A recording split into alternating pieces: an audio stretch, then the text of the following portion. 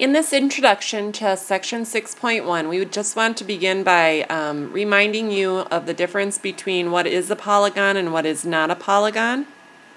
Remember, polygons are any two-dimensional shapes that have straight lines and the shape is closed, and that's why these three figures over here would not be polygons.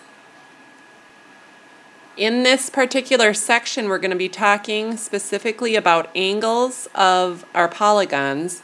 Interior angles, as you could guess, are the angles inside the polygon, and the exterior angles we'll be talking about are created if we extend the sides of the polygons out. The exterior angle will be that side that comes from that extended line to the edge of the polygon. You might want to note also that an interior and exterior angle create a linear pair and they would add up to 180 degrees.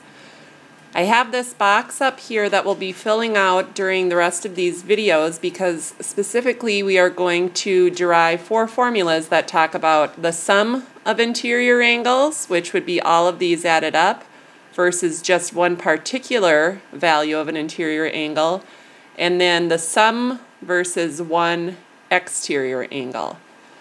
During um, this whole chapter of videos, we will be referring to um, the quadrilateral family tree that you should receive from your teacher or you can download it from the Moodle site. We won't be filling this in today, but have this handy as you watch the videos ongoing in this chapter and we're going to specifically fill in information that is pertinent to each of the quadrilaterals we will be studying.